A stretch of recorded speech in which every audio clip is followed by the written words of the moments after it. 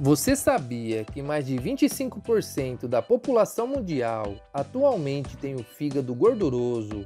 Pois é, isso é um fato mais que impressionante, né? É que a grande maioria dessas pessoas nem ao menos sabe que estão com o fígado desse jeito. Gordura no fígado você pode ter e nem sabe.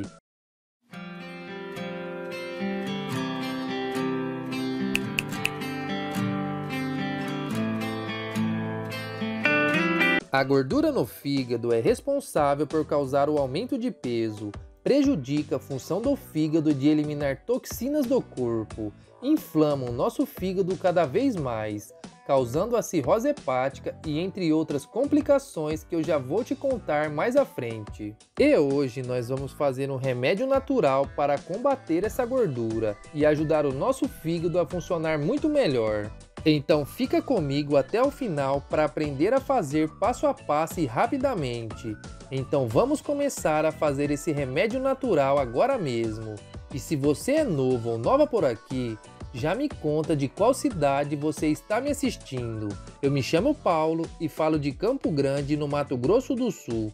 Agora é a sua vez. Conta pra mim que eu já vou passar para te desejar as boas-vindas. E não se esqueça de deixar o seu gostei e compartilhar essa informação com todas as pessoas que você conhece. E para fazer essa mistura, nós vamos precisar de uma rodela de abacaxi, uma laranja inteira espremida e sem sementes, uma colher de sopa de azeite de oliva, 7 folhas de hortelã e um copo com 200 ml de água. Modo de preparo: Primeiramente, coloque tudo no liquidificador por pelo menos 3 minutos. Na sequência, já pode colocar no copo e consumir tudo de uma vez só e sem coar. Tome de preferência sempre 30 minutos depois de uma refeição. Pode ser depois do café, depois do almoço ou depois da janta. E sempre apenas uma vez por dia, durante pelo menos de 3 a 5 dias seguidos. Esta mistura merece seu compartilhamento e o seu gostei, certo? Então eu conto com você. Aí você me pergunta, mas Paulo, como eu faço para saber se eu estou com gordura no fígado? Bom, isso é bem simples. Eu vou te falar agora vários sinais de quem está com gordura no fígado. Então fique de olho, pois você pode ter um ou mais desses sinais. Número 1. Olhos muito amarelados. Quando existe uma grande degradação da hemoglobina, surge uma cor amarelada, que se chama bilirrubina.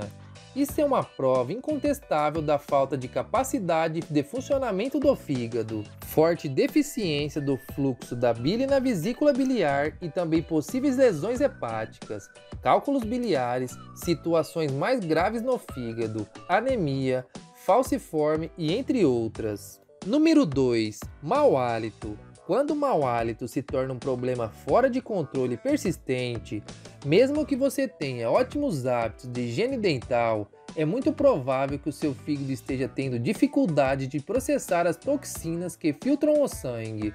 Há muito tempo é dito que quando uma pessoa sente o hálito amargo, é perfeitamente possível que tenha algum problema de saúde. Número 3. Sudorese. Suor excessivo e mau cheiro corporal uma das diversas funções hepáticas estão relacionadas com o odor e a temperatura do corpo.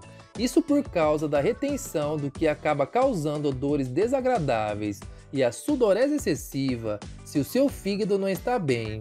Número 4. Desconforto abdominal. Se você sente ou começa a sentir uma ardência ou desconforto bem forte, justamente com inchaço na região abdominal, na área bem superior do seu abdômen, pode indicar fortemente que o seu fígado está gorduroso, então fique de olho nisso. Número 5. Manchas na pele. Esses sinais são bem prováveis de o seu fígado estar gorduroso, pois como já foi dito anteriormente, o nosso fígado ele limpa as toxinas do sangue, e se por acaso essa tarefa não esteja sendo cumprida pelo fígado, pode ser manifestado coagulações na superfície da pele, principalmente na região das costas. Número 6. Desconforto nas articulações.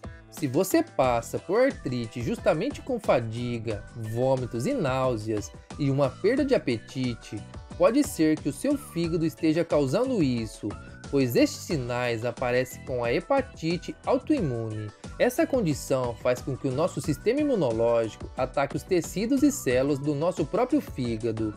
Número 7. Perda clara de massa muscular. Quando chegamos ao estado do fígado que já não tem mais volta, você pode apresentar um grande desequilíbrio de líquidos.